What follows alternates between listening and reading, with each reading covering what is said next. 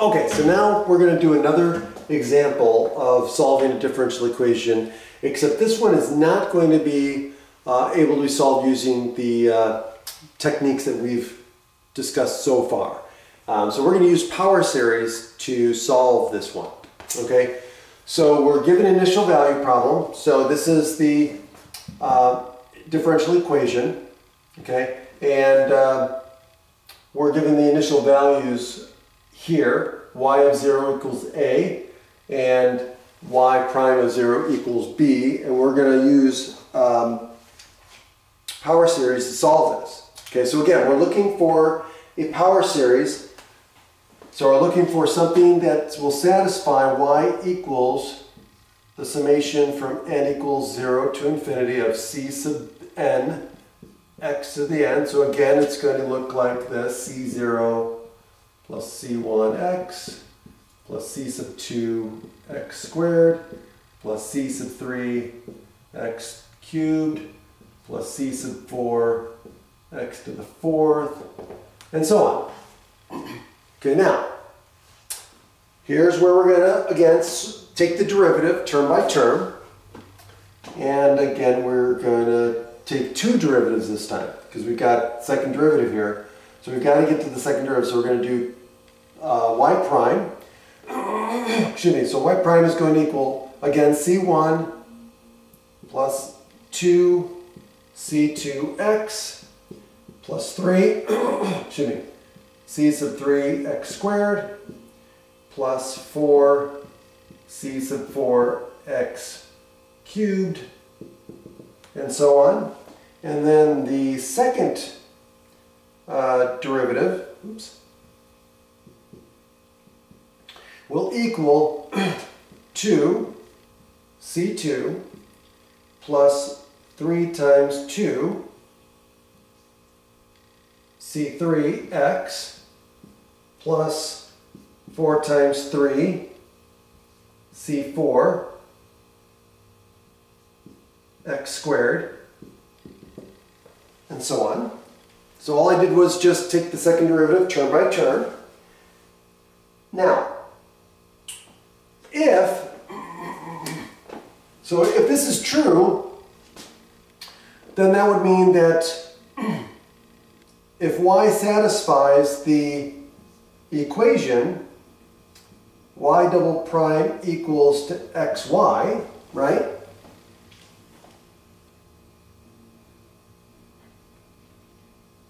Then we can set these equal to each other. So we've got the second derivative, and we have y. So now what we're going to do is, this means that 2 c sub 2 plus 3 times 2 c sub 3x plus 4 times 3 c sub 4 x squared plus, and so on, is equal to x times y, which is this. So that's going to be c sub 0 plus c1x plus c sub 2x squared plus c sub 3x cubed plus, and so on. Okay? So that those must be equal. And then again, using the uniqueness of the power series, right, uh, for series representations, we know that the coefficients of the same degree must be equal. Okay? So now, I'm going to erase this and just remember the initial values. So based on this, we know that what? Well, this we're going to distribute. So what happens when we distribute the x? We get 2c2 plus 3 times 2 c3x, just x, okay, plus 4 times 3 c4 x squared Uh, you know what? Let me rewrite this. give myself some more room. Um, so this is going to be 2 C2 plus 3 times 2 C3x plus 4 times 3 C sub 4 x squared plus um, 5 times 4 um, c to the c sub 5 x. Uh, you know what, I'm gonna, I don't need that one. So I'm gonna just dot dot dot is equal to, now I'm gonna just distribute the x. So this is gonna be c0x plus c1 x squared plus c2x cubed plus, and so on. Okay, so now, so coefficients of the same degree must be equal.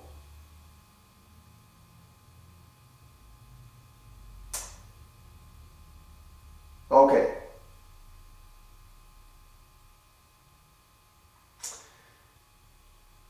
So, that means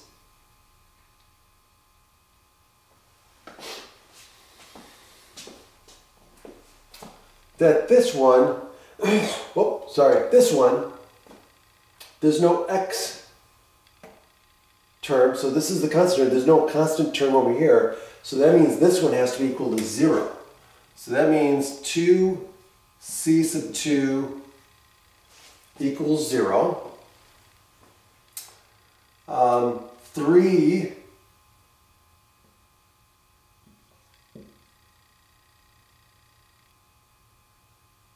times 2 c sub 3 must equal c sub 0. And then 4 times 3 c sub 4 equals c1.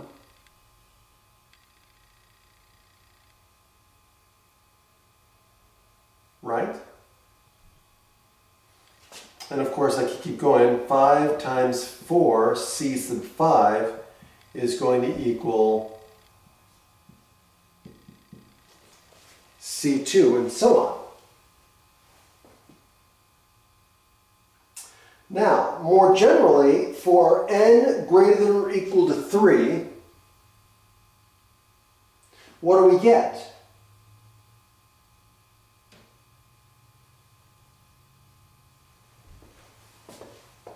Well, for, for greater than or equal to 3, for n greater than or equal to 3, what do we have? We have n factorial, right? So we get n, oh no, no, I'm sorry. Um, it's going to be n times n minus 1 times c sub n is equal to c sub n minus 3. So, in fact, all coefficients can be written in terms of C0 and C1. Okay? And, and to see this, um, consider looking at C2. C2 is 0. right? This implies that C2 is equal to 0.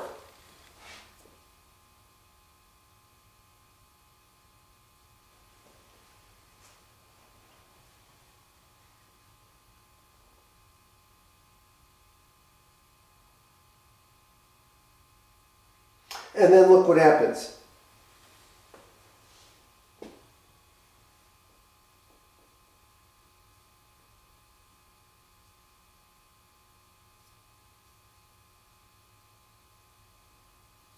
Well,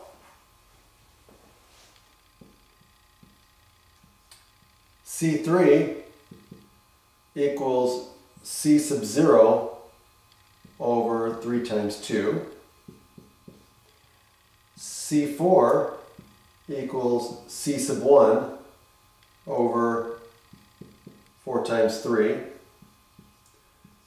C sub 5 equals C sub 2 over 5 times 4. Right?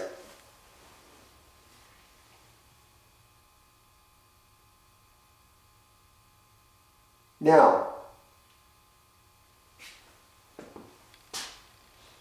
notice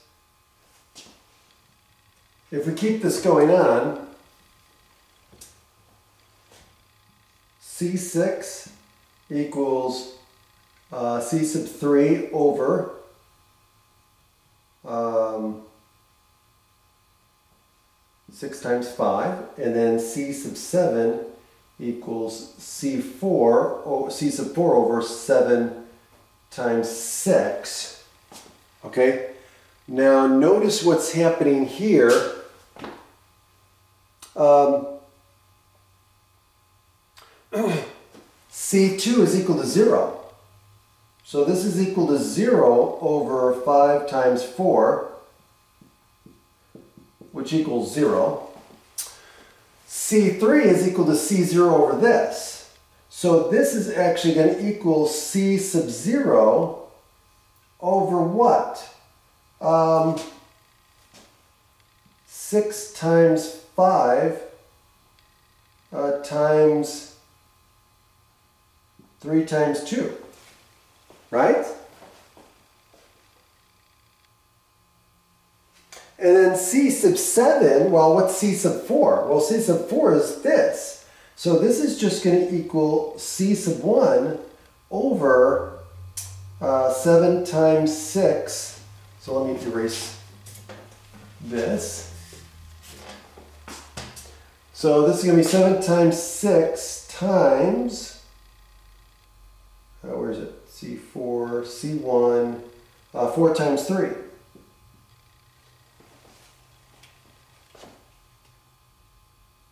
So look what's happening here. C0, C1, C0, C1. This C5 is just 0. So we're getting 0, then C0, then C1, and then another 0. And so you see this, this pattern here. So that means, what, what can we do? We can then use this to tell us how to write the coefficients. Now that we know the coefficients, well, guess what? Um,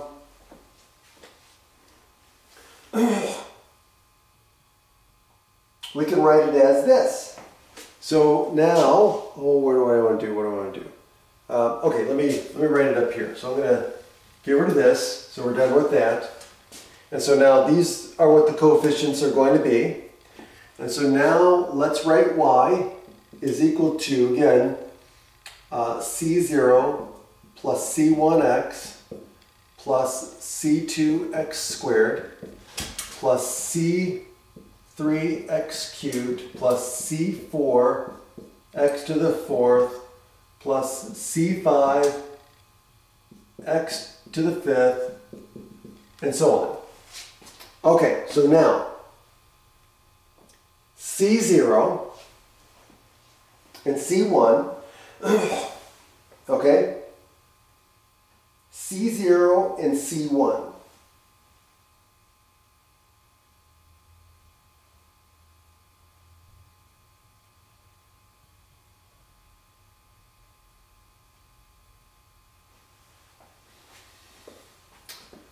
Now, using the substitutions, I'm going to, uh, so this C0, C1, C sub 2 is 0, right?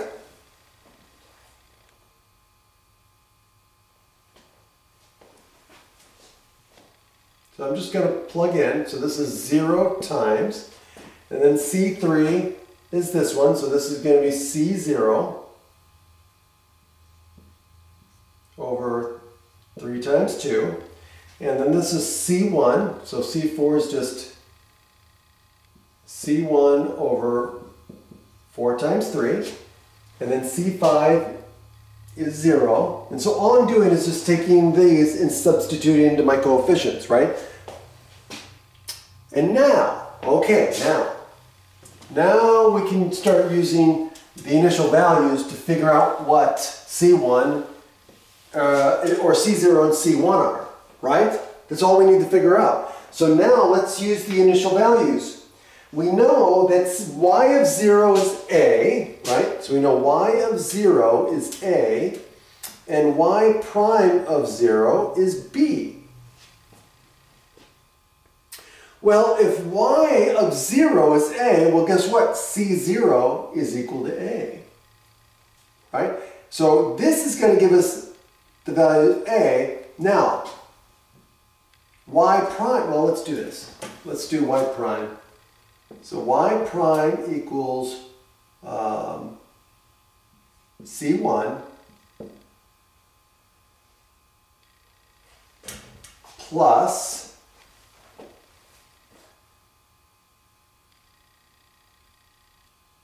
2 times 0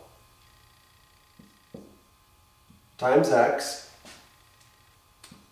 plus 3 times c sub 0 over 3 times 2x squared plus 4 times c1 over 4 times 3 plus, and then we get 5 times 0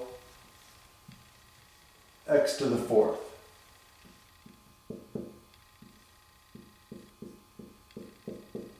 And so on. Well, y of 0 equals a, right? And y prime of 0 equals b, which means what?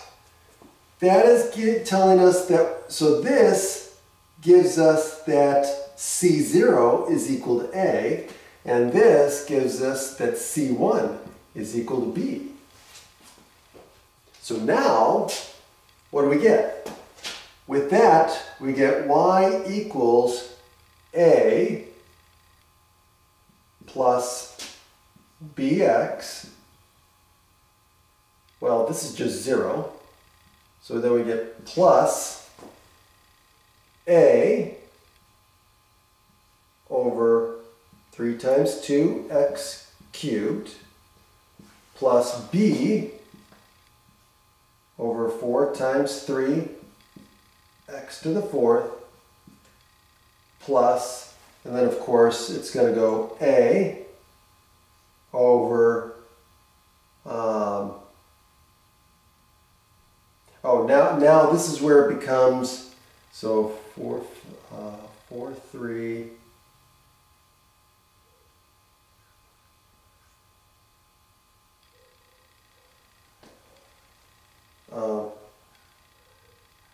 this is going to be six, five, three, two, right? x to the sixth, and then plus b over 7 times 6 times 4 times 3, x to the 7th, and then it just keeps going on and on like that. Okay. So now,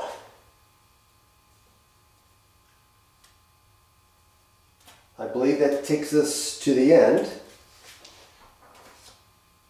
And so now what happens is um,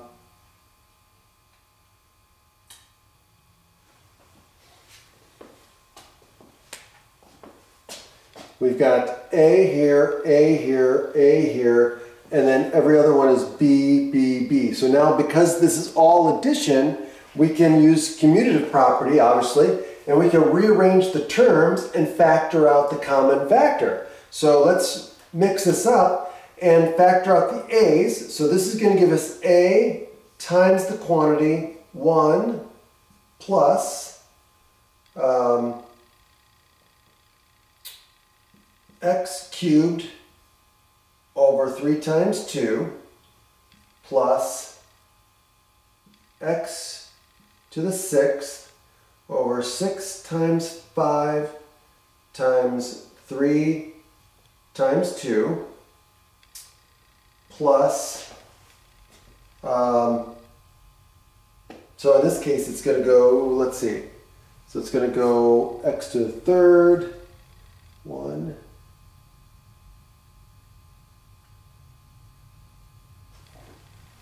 So x to the ninth. So the next one will be x to the ninth over, well, it'll be 9 times uh, 8 times 6 times 5 times 3 times 2. Or no, no, I'm sorry. Is that right? Hold on. Yes. Uh, hold a second. No, no, no. That is right. So it's going to be 6, 5, 3 times 2. Okay, see, see the pattern here? Okay, and then plus, and it keeps going. And then the second part, oh, you know what? Let me do it up here. Let me write out the final. I need more room.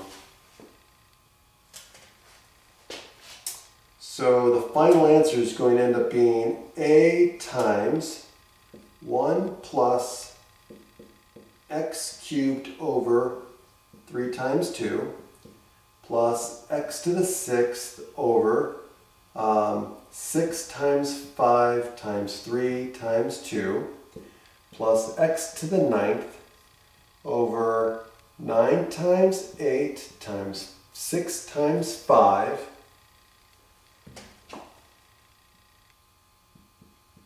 times 3 times 2, and so on. And then plus b times, now when we factor out the b's, we get x plus, um, oh, which one is this? X. Fourth, right. So this is going to be x to the fourth over 4 times 3, and then now we know what the pattern is going to be. Okay? So the next one is going to be this one. So it'll be x to the 7th over 7 times 6 times 4 times 3. And then the next one is going to be uh, to the 10th. So it'll be x to the 10th over, now it's going to be 10 times 9 times 7 times 6 times 4 times 3. And it keeps going on like that. And that is